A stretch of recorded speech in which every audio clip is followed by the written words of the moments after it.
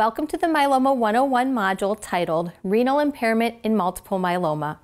My name is Beth Faiman. I am a nurse practitioner at the Taussig Cancer Institute in Cleveland, Ohio. Thank you for joining me today.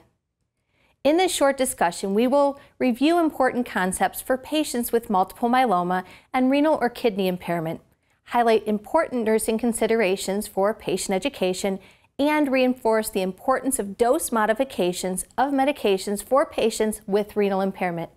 Now let's begin. It's important for nurses to know that nearly 20% of myeloma patients present with renal impairment at diagnosis.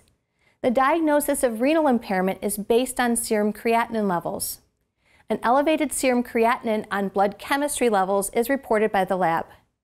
Nurses and providers can also calculate a glomerular filtration rate or a creatinine clearance, which takes into consideration one's age, weight, and ethnicity. It is important to also know that some drugs used to treat myeloma or for supportive care of myeloma may require a dose reduction in patients with renal impairment. New agents and therapies lead to more rapid responses and quicker disease control, which in many cases helps to reverse one's burden of renal failure more so than in the past. One of the hallmarks of active myeloma is renal dysfunction. This is present in many of our patients at diagnosis and throughout their disease trajectory. In terms of renal impairment in myeloma, there are several factors to consider. These factors can either be disease related, therapy related, and patient related. With regards to disease related factors, we want to consider does the patient have hypercalcemia? Is the individual dehydrated? What's their myeloma disease burden? And do they have concurrent amyloidosis or other infiltrative disorders? Treatment related renal dysfunction can occur when patients receive intravenous contrast dyes or nonsteroidal anti inflammatory agents prior to or during the treatment of the disease. In some cases, patients may be taking high doses of diuretics that can further compromise one's renal function. Specific myeloma treatments can also impair kidney function, as well as certain bisphosphonates such as zoledronic acid and pamidronate or chemotherapy agents. Now, patient-related factors which contribute to kidney problems include pre-existing renal insufficiency, diabetes, or poorly controlled hypertension, among others. It's important to know that correcting the underlying cause of renal failure is highly important.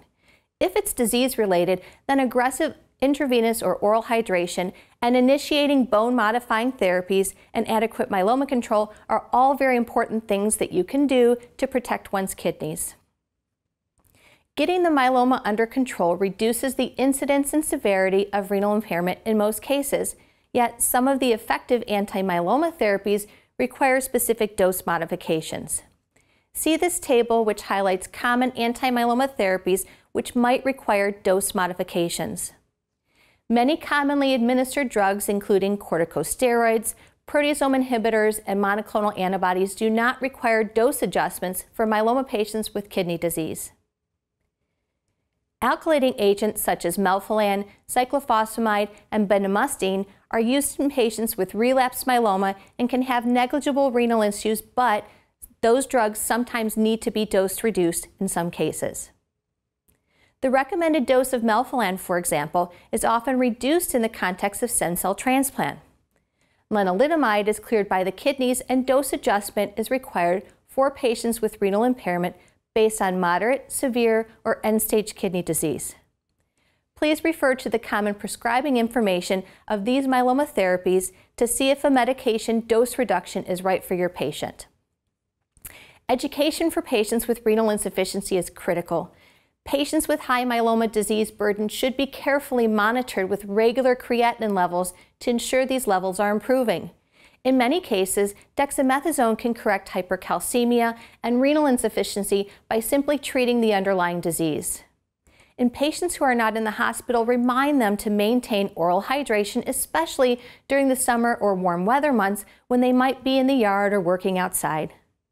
As many patients have common back or bone pain, it is not uncommon for them to turn to over-the-counter nonsteroidal anti-inflammatory agents or NSAIDs to treat their pain.